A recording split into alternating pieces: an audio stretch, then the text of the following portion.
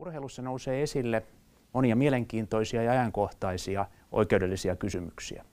Useat niistä liittyvät urheilun kaupallistumiseen.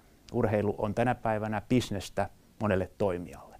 Kyse voi olla vaikkapa pelaajasopimuksista tai mediaoikeuksien siirtoon liittyvistä sopimusjärjestelyistä. Urheiluoikeudellisissa tutkimuksissa on keskeistä jäsentää, että urheilumarkkinat ovat hyvin keskittyneet. Kansainvälisillä ja kansallisilla lajiliitoilla on mahdollisuus omilla päätöksillään ja säännöillään merkittävästi vaikuttaa taloudellisen toiminnan harjoittamisedellytyksiin urheilussa. Taloudellisten kysymysten ohella ajankohtainen teema liittyy perus- ja ihmisoikeuksien merkitykseen urheilussa. Tämä voi nousta esille vaikkapa kurinpito- tai antidoping-säännösten soveltamisen yhteydessä. Määrättävien seuraamusten ja sovellettavien menettelyiden on täytettävä perustavat oikeudelliset vaatimukset.